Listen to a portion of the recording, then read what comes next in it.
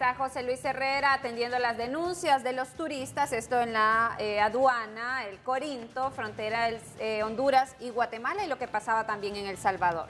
Pero de inmediato tenemos comunicación vía Zoom con el director de migración, Alan Barenga, quien nos pueda dilucidar qué es lo que sucedió en ambas aduanas para que la ciudadanía, pues todavía falta mañana y esperan que el trámite sea un poco más ágil. Director, bienvenido y gracias por atendernos. Cuéntenos cuál ha sido el problema, porque unos estaban denunciando, por ejemplo, en la aduana, el Amatillo, que era lentitud en cuanto a la revisión de vehículos y en Corinto, como usted escuchaba, por trámites. ¿Qué es lo que ha pasado? Muy buenas, muy, muy buenas tardes a todas en cabina y a las, personas que nos están escuchando en este noticiero importante.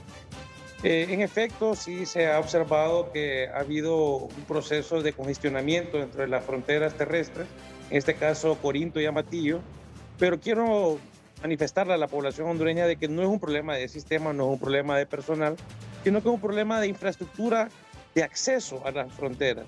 Eh, ahorita el flujo de vehículos que se ha movilizado a estas fronteras han hecho que se haga, se haga un congestionamiento vial bastante pesado y en tal sentido hace que el acceso para llegar a la, a la, frontera sea demasiado lento, ya que nosotros tenemos como Instituto Nacional de Migración la capacidad de procesar y de hacer los controles migratorios necesarios eh, en números bastante altos. Nosotros todos los días atendemos en Corinto 3.000 personas y no se dan este tipo de problemas, pero la cuestión ahorita para este feriado morazánico es el acceso que tienen los vehículos para llegar a la frontera y donde se hacen la mayor cantidad de horas de fila es en el tráfico.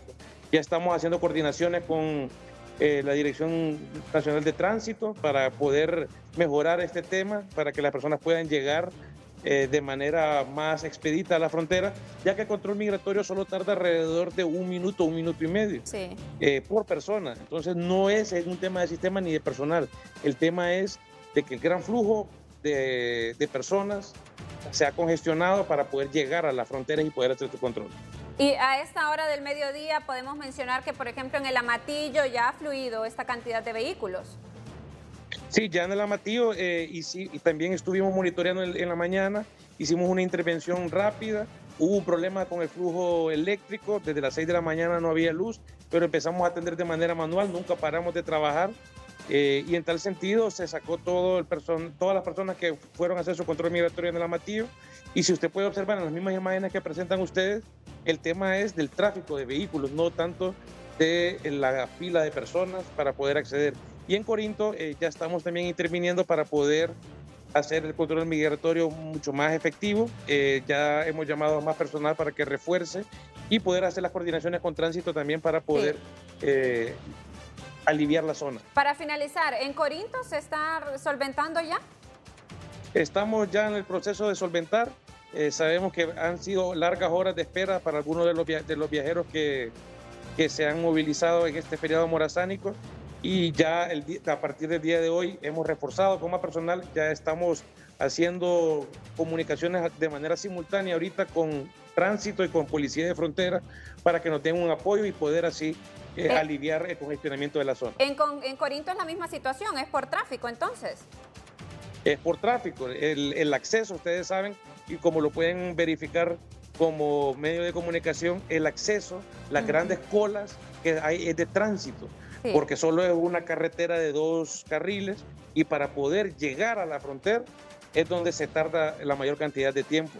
Ya que el control migratorio, como ustedes lo pueden hacer en cualquier aeropuerto o en cualquier oficina, no tarda más de dos minutos. Muchísimas gracias, Alan Alvarenga, quien es director de migración. Gracias. A la orden y estamos con el compromiso de poder darle una respuesta a toda la ciudadanía que se está movilizando en estas, en estas fechas de vacacionales y estamos con el compromiso de que su retorno sea de manera segura y efectiva. Muchísimas gracias y ojalá que así sea entonces. Ya se está solventando, es por problemas de tránsito y en el Amatillo sí podemos confirmar también que ya ha ido avanzando con más rapidez. Y como